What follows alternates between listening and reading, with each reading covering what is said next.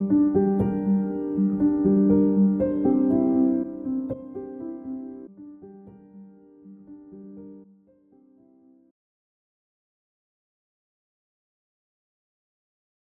楞纸我一开始没有想过用，因为这两年不是疫情嘛，然后老窝在家里，就多了很多网购的行为，还有一些食物的包装箱，有时候正好想画，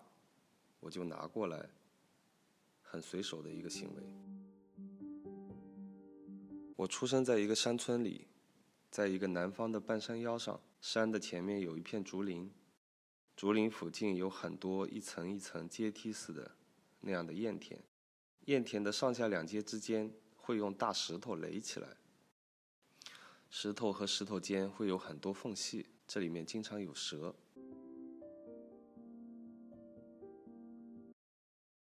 小时候我常去山上玩，有一次看到一个捕蛇的，就好奇的跑去围观。他从墙洞里抓到黑乎乎的一条，应该是蛇，直接用剪刀把蛇头给剪开了，剪掉了。然后头就掉在地上，蛇头还在不停的呲牙咧嘴，试图咬人，不停发出呲呲声。捕蛇人把那个蛇的脖子剪开以后，从脖子的切口再剪开了一个小口，整个皮被扯下来，连着一大串内脏，带皮和内脏一起剪掉。他从内脏里剥了剥，后来我才知道那个应该是蛇胆。他那个手上缠着那个蛇肉，没有头，没有尾，没有皮，没有内脏的一截蛇肉，只有神经还活着，在手臂上扭动着，在大中午大太阳下面显得蛇肉特别的白，而舌头仍仍在离我很近很近的地方，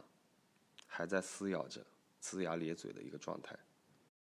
扭动的蛇肉在他的手臂上一直缠着，那种情景对我来说是又奇异又骇人的。这么多年，我依然能够记得如此清晰。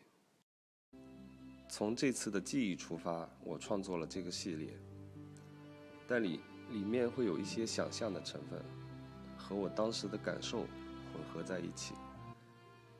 人的视角。蛇的视角，通过颜色和构图混合并列。因为老和一帮写作的人待在一起，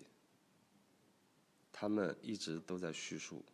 我也一直都在叙述，把类似于捕蛇这样的记忆和想象，用图像产生出来，再重新组合。我相信，只要真诚的去创作，你身边的。当下都会在作品里被反映出来。绘画其实没有那么的时效性，比如像社会正在发生的事情，它其实很难瞬间把它抓住。我觉得绘画更接近一种潜移默化，你慢慢的吸收，然后慢慢消化，再慢慢的传导出来，这样的一个结果。